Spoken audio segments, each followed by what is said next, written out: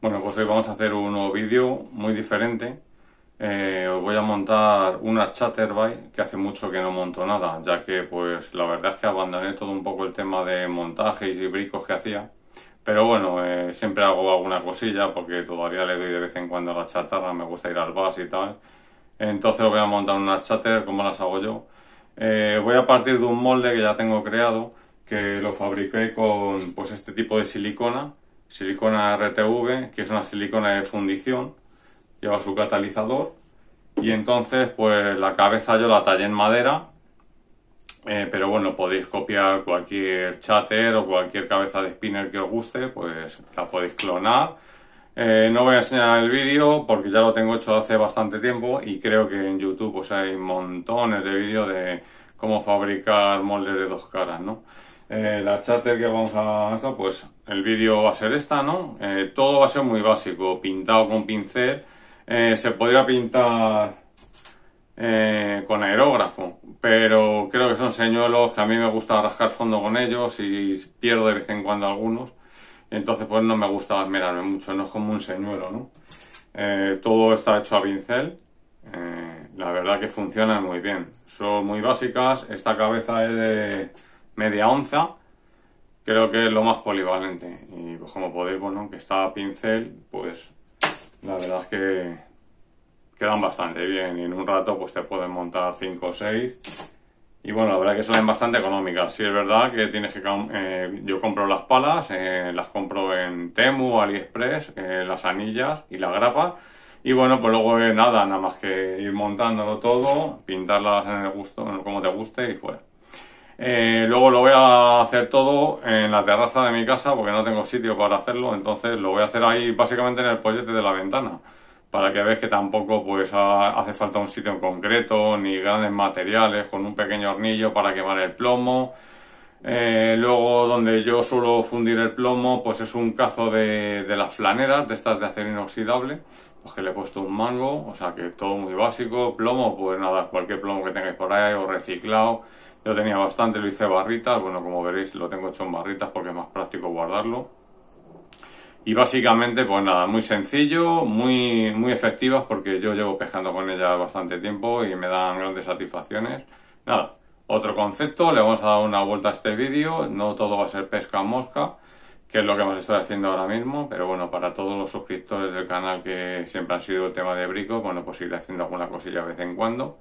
Esto va a ser el primer, el primer vídeo y luego pues ya después de las vacaciones pues haré algún paseante, algún popper, cosas no de mucho trabajo, a lo mejor algún swing bike que hacía bastantes, pero bueno, todo eso ya a lo mejor quizás para el invierno que estoy más tiempo en casa y le puedo dedicar más tiempo al tallado y todo. Y igual todo será con herramientas básicas, caladora o un cúter, porque ya no tengo nada de ningún tipo de herramienta, ni, sierra de cinta, ni nada. Pero bueno, al final será interesante verlo porque para que veas que cualquiera con cuatro herramientas básicas se puede crear su propio señuelo. Bueno, vamos con el vídeo. Espero que os guste. Como veáis va a ser en el pollete de la ventana, o sea que no tienes excusa para no poder hacerlo. Venga, vamos a ver lo que tal.